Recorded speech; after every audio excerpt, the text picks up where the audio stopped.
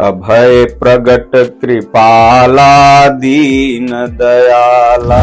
श्री राम नवमी महोत्सव 2024 के उपलक्ष्य में इंग्लिश में अगर कहें तो जैसे आप लोग कहते हैं कि मेरा बर्थडे है, मेरा बर्थडे, उसी तरह से ये भगवान का बर्थडे है।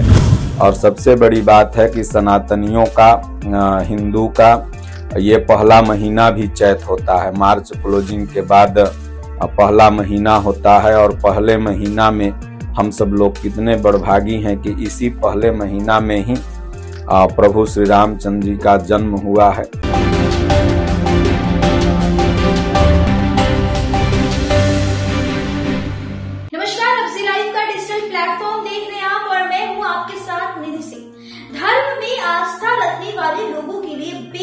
खास जगह अगर कोई है तो वह मंदिर और खासकर वह लोग प्रभु श्री राम के आस्था में लीन रहते हैं। हाल ही में बने राम मंदिर लोगों में आकर्षण का केंद्र बना रहा ऐसे ही राम के संत गुरु शारदा बाबा, जो कि अपनी आस्था और भजन अपनी भजनों से लोगों का आकर्षण अपनी ओर कर लेते हैं। इस रिपोर्ट में सुनिए अपने भजन और वक्तव्य का केंद्र बन रहे हैं या बाबा? ओम श्री सदगुरुदेव भगवान की जय, राजा रामचंद्र भगवान की जय।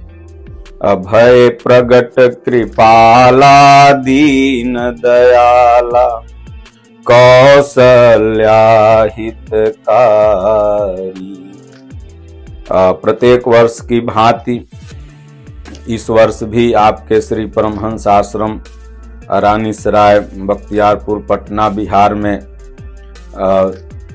श्री राम नवमी महोत्सव 2024 के उपलक्ष्य में इंग्लिश में अगर कहें तो जैसे आप लोग कहते हैं कि मेरा बर्थडे है, मेरा बर्थडे, उसी तरह से ये भगवान का बर्थडे है। चैत राम नवमी के दिन भगवान का जन्म हुआ था, ऐसी मान्यता है। अनादिकाल से।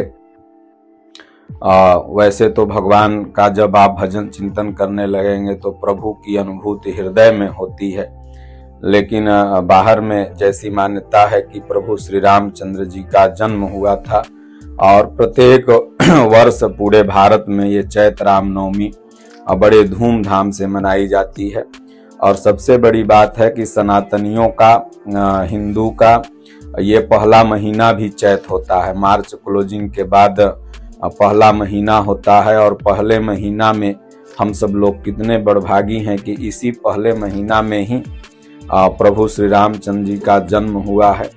तो अयोध्या से प्रसिद्ध कथावाचक आचार्य प्रेम सागर जी जो अयोध्या में रहते हैं और पूरे भारत में मानस मर्मज्ञ, मानस की बहुत सुंदर कथा सुनाते हैं।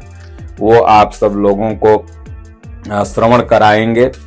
दिनांक होगा नौ चार 2024 से मतलब नौ अप्रैल 2024 से सत्रह अप्रैल 2024 तक। मतलब सत्रह तारीख को रामनवमी है। तो एक कम से ही कथा चलेगी नहवान परायण की।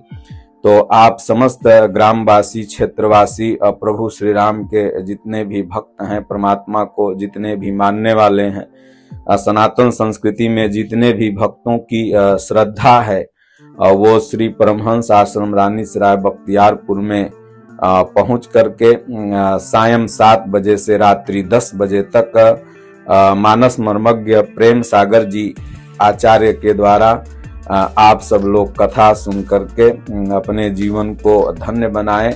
और बहुत बड़ी भाग्य की बात है कि इस बार ही प्रभु श्री राम का अयोध्या में नए मंदिर की प्रथम रामनवमी होगी।